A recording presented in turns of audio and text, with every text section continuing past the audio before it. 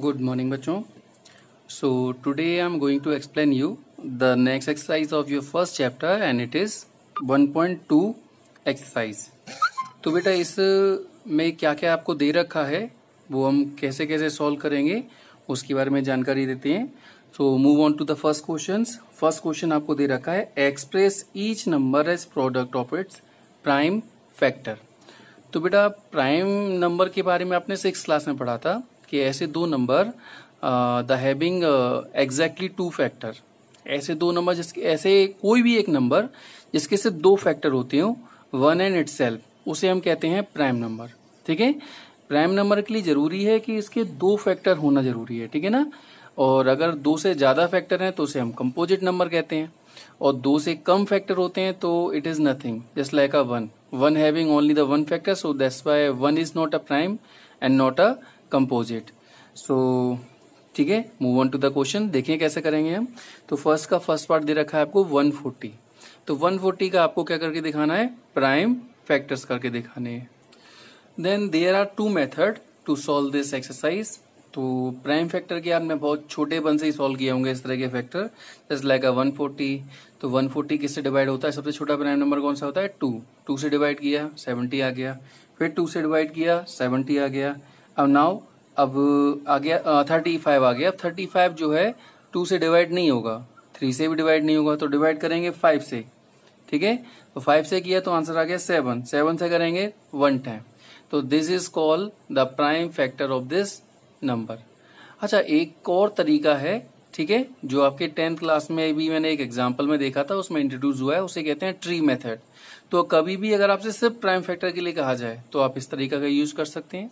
लेकिन अगर आपसे कहा जाता है solve the question by using tree method तो ट्री मेथड हमारा कुछ और नहीं है, यही वाला है, बस इसको इस तरह से रिप्रेजेंट करते हैं। फ़र्स्ट वाले नंबर को बॉक्स में कर दिया हमने। इसको किससे डिवाइड किया था? टू से। तो इधर हमने जिससे डिवाइड करते हैं, वो इस साइड बॉक्स लगाते हैं और डिवाइड करने के बाद जो आंसर आता है, उसका बॉक्स इस साइड लगाते हैं। तो टू से डिवाइड किया आंसर आया सेवेंटी यहाँ लगा दिया। फिर टू से डिवाइड किया आंसर आया थर्टी फाइव फिर टू से फाइव से डिवाइड किया तो आंसर आया सेवन आप चाहो तो फिर सेवन से करके वन भी लिख सकते हो, इतना भी छोड़ देंगे this is also right answer तो इस तरह से इसके सारे के सारे पार्ट्स आपको सॉल्व करने हैं। Okay students move on to the next question So the next question number 2 is given here. Find the LCM and SCF of the following pair of integer and verify LCM into SCF is equal होता है product of two numbers. अब actually यहाँ पर LCM और SCF find out करने के लिए कहा गया है और किसी मेथड के बारे में नहीं कहा गया it means you are total free to use any method यहाँ मेन जो मकसद है हमारा वो इस फॉर्मूले को आपको याद करवाना है और दूसरा आपको इस फॉर्मूले का यूज़ करवाना है तो ये फॉर्मूला आपके लिए मोस्ट इंपोर्टेंट है। इस तरह के कई सारे क्वेश्चंस पूछे जाते हैं। तो याद रखिएगा LCM into HCF is equal to product of two numbers ये सिर्फ़ दो नंबर के लिए यूज़ होता है। दो से ज़्यादा नंबर अगर आपको दे रखे हैं तो इस फॉर्मूले का हम यूज़ नहीं करेंगे। Okay let start the question number second first part twenty six and ninety one तो देखिए यहाँ पर आपको सेकेंड uh, क्वेश्चन का फ़र्स्ट पार्ट दे रखा है। It is twenty six and ninety one तो वही, अभी मैंने मेथड बताया था आपको, क्या करते हैं? ट्वेंटी सिक्स के हमने प्राइम फैक्टर किए नाइन्टी वन के हमने प्राइम फैक्टर किए तो ट्वेंटी सिक्स के फैक्टर कितने हैं? टू एंड थर्टीन तो लिखा हमने two into thirteen ninety one के फैक्टर आए सेवन इंटू थर्टीन तो लिखा हमने सेवन इंटू थर्टीन एंड अगर हमें इसका एस निकालना है I am using prime factorization method तो एस का मतलब होता है इन दोनों में जो कॉमन टर्म होता है, उसे कहते हैं एस तो दोनों में कॉमन क्या है? देखो, यहाँ भी थर्टीन और यहाँ भी थर्टीन तो दिस इज़ कॉमन तो कॉमन है तो बस इसका आंसर हो गया एस सी एफ़ थर्टीन अच्छा अगर आपको एलसीएम निकालना है तो सबसे पहले जो कॉमन नंबर यानी एस सी एफ़ था, उसको लिख देते हैं। अब जो बचे हुए नंबर हैं, उनको लिख दो। तो यहाँ क्या बचा? टू यहाँ क्या बचा? सेवन तो इन दोनों को भी लिख दिया। When we multiplied and we will get this answer and this is called LCM ठीक है? अब आपसे वेरीफाई क्या करने के लिए कहा गया है? LCM into S F is equal होता है प्रोडक्ट ऑफ़ टू नंबर्स तो कैसे कर सकते हैं? हमने देखी एलसीएम की वैल्यू पुटअप की एस की वैल्यू पुटअप की and now we just put up the both of number जैसे ही आप इसका मल्टीप्लाइड करेंगे you will get the answer L H S is equal to R H S और अगर आपका ऐसा कुछ आ जाता है तो we will write here it's verified तो इस तरह से, इस तरह के सारे के सारे क्वेश्चन आप सॉल्व करेंगे. Okay okay student now move on to the next question number third तो बेटा क्वेश्चन नंबर थर्ड दे रखा है find the LCM and HCF of the following integer by applying the prime factorization method method तो कई सारे होते हैं डिवीज़न मेथड भी होता है। अब यहाँ उन्होंने स्पेशल कह रखा है कि प्राइम फैक्टराइजेशन मेथड ही लगाना है और आपको सिर्फ़ एलसीएम और एचसीएफ निकालने के लिए कहा गया है। फॉर्मूला आपसे प्रूव करने के लिए नहीं कहा गया। क्यों नहीं कहा गया? क्योंकि यहाँ पर वन टू थ्री नंबर दे रखे हैं। और मैंने बताया था, ये फॉर्मूला सिर्फ़ कब यूज़ होता है? When two number is given there okay? तो यहाँ भी हम क्या करेंगे? प्राइम फैक्टराइजेशन के अकॉर्डिंग एलसीएम और एससीएफ निकालेंगे। अभी बताया था मैंने आपको तरीका। The same method we will applied in the question number third so in this question the three number is given here twelve fifteen and twenty one तो as usual we will do the prime factor of this all three numbers तो twelve किससे divide होगा? Two से। फिर two से, फिर three से। Okay? Fifteen किससे डिवाइड होगा? टू से तो होगा नहीं। क्योंकि लास्ट में क्या आ रहा है? फाइव आ रहा है। क्योंकि लास्ट में और नंबर आता है, वो नंबर टू से डिवाइड नहीं होता। तो थ्री से किया। थ्री से डिवाइड करने का मेथड भी है भाई, ये बेसिक चीज़ तो आपको आती है। ठीक है? थ्री से कैसे पहचानेंगे कि नंबर डिवाइड होगा कि नहीं होगा? We will add the number अगर ऐड करने के बाद ऐसा नंबर आता है जो थ्री की टेबल में है it means this number is completely divisible by three तो वन प्लस फाइव सिक्स होता है, इसलिए हमने सिक्स थ्री की टेबल में आता है तो थ्री फाइव जा एंड अगेन फाइव बन जा। सेम एज इसका हमने डिवाइड किया। तो we will write here the complete prime factor twelve के हमने फैक्टर लिख दिए फाइव फिफ्टीन के लिख दिए ट्वेंटी वन के लिख दिए। अब हमें निकालना है एलसीएम और एस अब एलसीएम और एस निकालने के लिए सबसे पहले क्या करते हैं? एस निकालेंगे। तो देखेंगे कॉमन क्या है। तो देखो कॉमन थ्री यहाँ पर है थ्री यहाँ पर है थ्री यहाँ पर है। तो three is common in all the terms it means S क्या हो गया हमारा? थ्री अगर कोई और नंबर भी होता तो उसको भी यहाँ लिख देते और इंटू कर देते। लेकिन यहाँ तो सिंगल नंबर है तो ये हमारा हो गया एस अच्छा एलसीएम के लिए क्या बताया था मैंने? एलसीएम के लिए बताया था, सबसे पहले हम इसका जो एस आता है, उसको लिख देते हैं। इसके बाद जो बचे हुए नंबर है, उनको लिख देते हैं। अगर दो में भी कोई कॉमन आ रहा होता तो उसको भी हम सिंगल टाइम लिखते दो बार नहीं लिखते। लेकिन यहाँ देखो, कोई भी नंबर कॉमन नहीं है तो ये टू और टू इन दोनों को लिख दिया। यहाँ फाइव बचा है, इस फाइव को लिख दिया। यहाँ सेवन बचा हुआ है, ये सेवन को हमने लिख दिया यहाँ पर। ओके नाउ अब क्या करेंगे हम? ठीक है सिंपली वी विल मल्टीप्लाई जैसे ही हम नंबर का मल्टीप्लाई करेंगे will get the answer LCM is equal to four twenty तो this is the method to finding this answer just look up the next question of it अब यहाँ से ये सारे के सारे जो लास्ट के क्वेश्चन है फोर फाइव सिक्स सेवन ये सब के सब मोस्ट इंपोर्टेंट हैं. बोर्ड एग्ज़ाम में कई कई बार क्वेश्चन ये आए हुए हैं. ठीक है? तो देखिए कैसे सॉल्व करेंगे. क्वेश्चन नंबर फोर आपको दे रखा है, given that S of this two number इन दो नंबरों का एस जो है नाइन है तो बताइए इनका एलसीएम क्या होगा? ठीक है? अभी मैंने ये वाला मेथड बताया था आपको, जब भी दो नंबर दे रखे हो तो ये वाले मेथड लगा सकते हैं अननोन टर्म को फाइंड आउट करने के लिए। तो देखिए how to solve the question number four तो जैसा कि मैंने आपको बताया था S C F is given here nine and we have to find out the LCM तो मैंने फॉर्मूला के बताया था LCM into S C F equal to क्या होता है? प्रोडक्ट ऑफ़ टू नंबर अब हमें कुछ भी निकालना हो, अगर हमें एलसीएम निकालना है तो एस को उधर लेके आएँगे डिवाइड में आ जाएगा। अगर हमें एस निकालना होता तो एलसीएम को उधर लेके आते, ये डिवाइड में आया था अब क्योंकि हमें एलसीएम निकालना है तो इसलिए एस को हम नीचे लेके आए। अब देखिए वैल्यू पुटअप करेंगे प्रोडक्ट ऑफ़ टू नंबर्स तो दो नंबर तो ये दे रखे हैं, दोनों का प्रोडक्ट यानी कि मल्टीप्लाइड कर दिया। अच्छा नीचे लिखा है एस तो एस की जगह एस की वैल्यू को पुटअप कर दिया। कट कर सकते हैं, देखो नाइन से ये कट हो रहा है। नाइन थ्री जा ट्वेंटी सेवन फोर आ गए थ्री आ गए, नाइन फोर जा थर्टी सिक्स तो यहाँ थर्टी फोर बचेगा।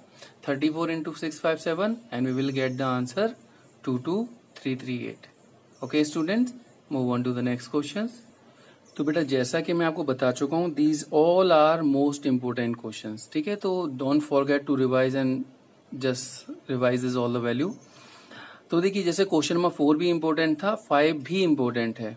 क्वेश्चन कहा रखा है आपसे?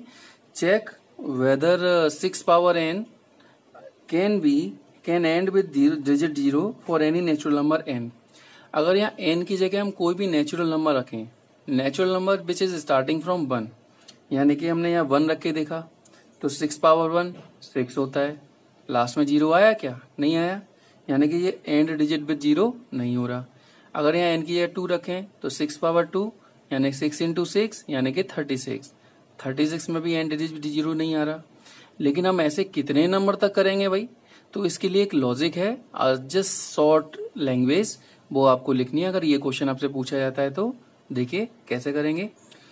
तो बेटा सबसे पहले आपको ये पता होना चाहिए कि एंड डिजिट भी ज़ीरो आता कब है। तो सबसे छोटा नंबर जिसमें एंड डिजिट भी ज़ीरो आता है, वो है टेन और टेन के अगर हम फैक्टर करें तो ये होते हैं टू इंटू फाइव यानी कि किसी भी नंबर में एंड डिजिट भी ज़ीरो होने के लिए उसके फैक्टर में क्या होना चाहिए? टू और फाइव तो बस कोई भी नंबर यहाँ दे रखा हो, या फोर दे रखा हो, यहाँ पर सिक्स दे रखा हो, या एट दे रखा हो, कुछ भी दे रखा हो, आप सिर्फ़ और सिर्फ़ इसके फैक्टर से पता कर सकते हैं कि ये एंड डिजिट विद ज़ीरो होगा या नहीं होगा।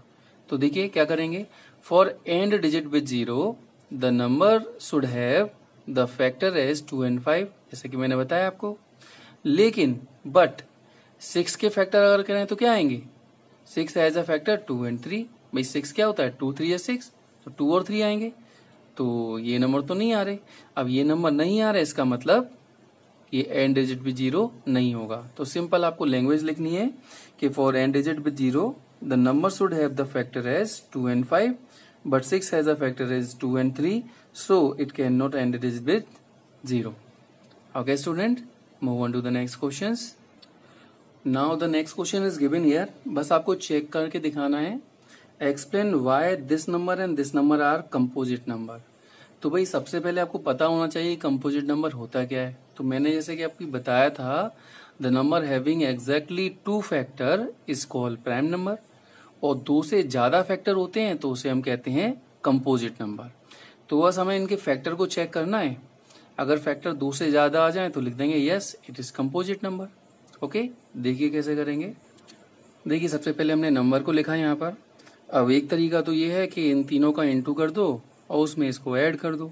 और जो भी आंसर आता है, उसके फैक्टर कर दो। लेकिन इससे क्या होगा टाइम ज़्यादा वेस्ट होगा ना। तो एक नंबर के अगले क्वेश्चन के लिए कितना टाइम वेस्ट करेंगे आप? तो थोड़ा सा आसान कर लेते हैं। तो हमने देखा यहाँ दो टर्म है। एक दो टर्म हमारा ये बन रहा है, एक टर्म ये बन रहा है। इन दोनों में कॉमन क्या आ रहा है? थर्टीन तो थर्टीन को हमने कॉमन निकाला तो यहाँ ये दोनों रह जाएँगे और यहाँ कुछ नहीं रहेगा तो वन रह जाएगा। Seven into eleven seventy seven seventy seven plus one seventy eight तो दो नंबर तो आपको सिंपल दिख ही रहे होंगे। अब इंटू वन हम सब में लिख सकते हैं। ठीक है? तो अगर हम सिंपल से देखें, दो एक, दो, तीन। तीन फैक्टर तो यही हो गए। इसको भी हम टू से डिवाइड कर सकते हैं। लेकिन क्यों करें? Why we are wasting time simple दिखाई तो दे रहा है। एक दो तीन यानी कि दो से ज़्यादा फैक्टर हैं। और दो से ज़्यादा फैक्टर हैं तो without wasting any time you can directly write here the number have more than two factor so it is composite number इसी का एक और पार्ट दे रखा है वो भी इसी मेथड से सॉल्व करेंगे हम। सो so, इसी का एक और पार्ट क्या दे रखा है? ये नंबर तो मैंने आपको एक तरीका क्या बताया? इन सबको मल्टीप्लाइड कर दो और उसे ऐड कर दो। और जो भी आता है उसके फैक्टर कर दो। दो से ज़्यादा फैक्टर आए तो कंपोजिट तो why we are wasting time जल्दी करते हैं ना इजी करते हैं। तो इस नंबर में और इस टर्म में क्या कॉमन है? फाइव फाइव को कॉमन निकाला। तो यहाँ ये नंबर रह गए और यहाँ कुछ नहीं तो वन रह गया। अब देखिए इन सब का मल्टीप्लाइड करेंगे we will get one thousand eight plus one तो कितना आ गया? वन थाउज़ेंड नाइन और फाइव और इन टू में वन मैंने आपको बताया, हम किसी के नंबर के साथ लिख ही सकते हैं। तो सिंपल दिख रहा है। एक, दो, तीन, यानी दो से ज़्यादा फैक्टर और दो से ज़्यादा फैक्टर तो डायरेक्टली लिखेंगे the number has more than two factor so it is composite number okay okay just move on to the last question of it it is also the most important question तो question क्या दे रखा है बेटा? There are there is a circular path around a sports field Sonia takes 80 minutes to drive one round of the field while Ravi takes 12 minutes for the same. Suppose they both start in the same point and at, at the same time and go in the same direction. After how many minutes will they meet again at the starting point? भाई ये कह रखा है एक circular path है उसमें सोनिया जो है 18 मिनट लगाती है एक राउंड को पूरा करने में और रवि 12 मिनट लगाता है भाई रवि तेज दौड़ रहा है अब उन्होंने एक ही समय एक ही जगह से चक्कर लगाना चालू किया अब रवि जल्दी लगा लेगा ये 18 मिनट में लगा पाएगी। तो आपको ये बताना है कि आफ्टर हाउ मेनी मिनट ये दोनों फिर से एक ही जगह पर मिलेंगे। तो आपको सिंपल से क्वेश्चन क्वेश्चन के लॉजिक से समझना पड़ेगा कि क्या निकालना है। मिनिमम टाइम निकालना है या मैक्सिमम निकालना है?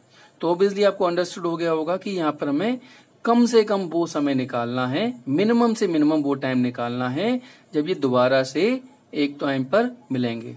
और मैंने आपको बताया था, कभी भी जब वर्ड मिनिमम यूज़ हो रहा हो it means we have to find out the LCM और अगर मैक्सिमम वर्ड यूज़ हो रहा हो तो हमें निकालना होता है एस तो इन दोनों का हमें क्या निकालना पड़ेगा? एलसीएम देखिए कैसे निकालेंगे। तो भाई क्वेश्चन के अकॉर्डिंग सोनिया को लगता है 18 मिनट रवि को लगते हैं 12 मिनट तो minimum time they meet again क्या हो जाएगा? LCM of this and this number LCM के लिए हमने प्राइम फैक्टर कर दिए दोनों के। अब इनके फैक्टर को लिख भी लिया।